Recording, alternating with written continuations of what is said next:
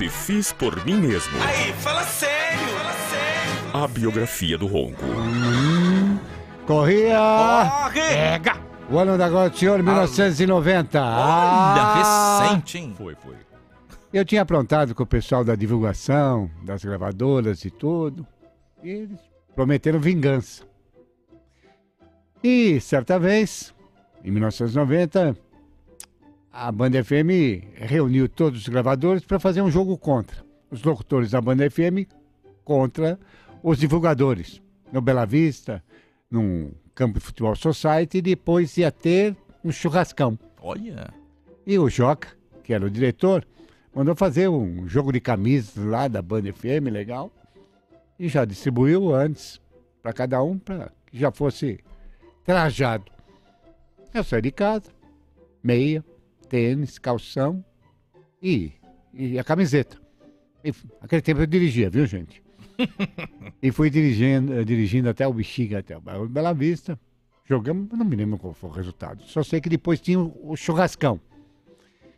E como eu tinha aprontado com eles, eu fiquei meio esperto. Mas não adiantou. Me agarraram, tiraram a minha camisa, Ah, não. tiraram meus shorts. Hum. Tinham comprado na farmácia algumas dezenas de batons, de tudo quanto é tipo. Sabe, sabe batom de vagaba? Sei, sei, sei. É vermelho, roxo, azul, tudo.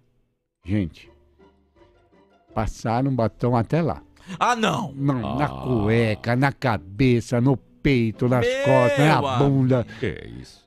Bom, e eu só de cueca. Sim. E não queriam devolver nem os shorts e nem a camisa pra ir embora. Nossa. É, não tive jeito, foi bom. Tô de carro mesmo, eu quero que se dane. Peguei o carro, só de cueca e todo melado de batom. Olha.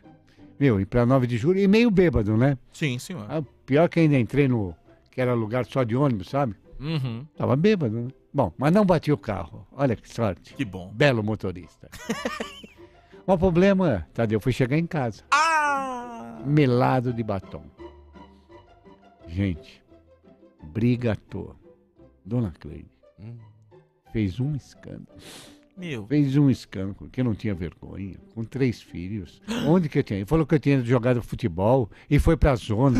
Olha aí, todo cheio de batom. Eu falei pra ela, Cleide, por favor, eu estou bêbado, aprontaram comigo. Se você quiser a separação, por favor, amanhã cedo procure o meu advogado. O que é pior? Ela falou, vai tomar banho. Eu falei, tô cansado. No quarto, fechou a porta do quarto, me fez dormir no sofá e eu manchei tudo no sofá. Pelo amor de Deus, Ah, gente. não. Ah, agora o principal, Ah. eu tô vivo. Graças a Deus. Amém, né? a hora do Meu Deus. Louco.